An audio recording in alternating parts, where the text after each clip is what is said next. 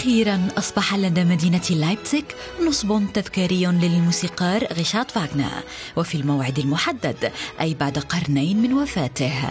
النحات شتيفان بالكنهول يشعر بارتياح لأنه وفق في إنجاز عمل يعتبر تكريما للموسيقار فاغنر وليس تأليها لشخصه. إنه تمثال عصري مقام فوق قاعدة للفنان ماكس كلينغر. إتمام عمل بدأه شخص آخر مهمة غريبة في حد ذاتها فمثل هذا الأمر لا يتكرر كثيرا وأتمنى أن أكون قد نجحت في إنجاز عمل يخدم المصالحة ولا يزيد في تباين المواقف والاستفزاز.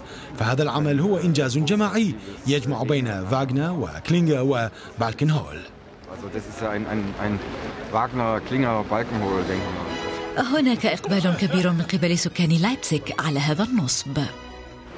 لا يجوز اعتبار هذا النصب تأليها لشخص فاغنا بل النظر إليه كوسيلة للتأمل في شخصية معقدة تستحق ذلك. هذا الظل الخلفي فكرة رائعة في حد ذاتها. هنا في ورشته في كارلسغو أضاف شتيفان بالكنهول اللمسات الأخيرة على التمثال البرونزي. وهي مهمة صعبة لأن غيشارد فاغنر ينظر إليه كموسيقار عبقري ويحتقر من جهة أخرى بسبب كتابته المعادية للسامية. تعمدت استبعاد هذه الصفة عنه قدر الإمكان. فالأمر يتعلق هنا بالفنان والموسيقار وليس بمسألة معاداته للسامية. أنا لا أريد أن أقلل من شأن تلك القضية لكن لا يجوز حد حياته وإنجازاته العبقرية في هذه الزاوية. فهذا التسييس ساهم كثيرا في التعتيم على أعمال هذا الفنان. Unter diesem Stern sehen. أعطى النحات شتيفان بالكنهول لتمثال الموسيقار شكل الشاب البسيط أي قبل المجد والشهرة. فهكذا كان فاغنر عندما غادر مسقط رأسه لايبزيغ عام 1834 الظل خلف التمثال مطابق للتصميم الأصلي الذي وضعه ماكس كلينغر وهذا هو الشكل الذي أراد الوصول إليه. فالتمثال الحالي يشبه إلى حد كبير ما أراد كلينغر إنجازه.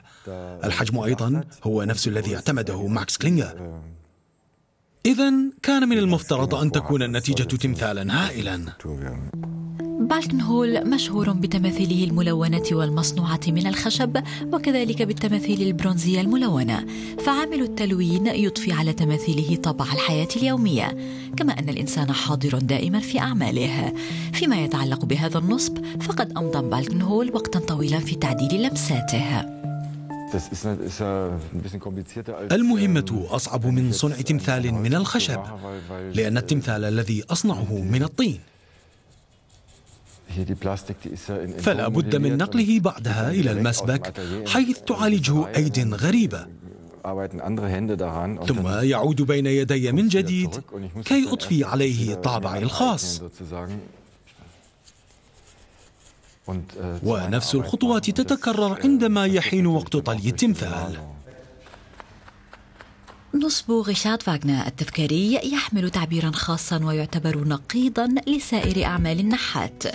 تماثيل واقعية ومجهولة الهوية ويمكن أن تمثل واحدا منا.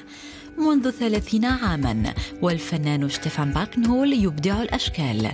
منها الصغير ومنها الكبير بشكل ملفت مثل السلسلة بالانس أكت التي أنجزها عام 2009 في برلين.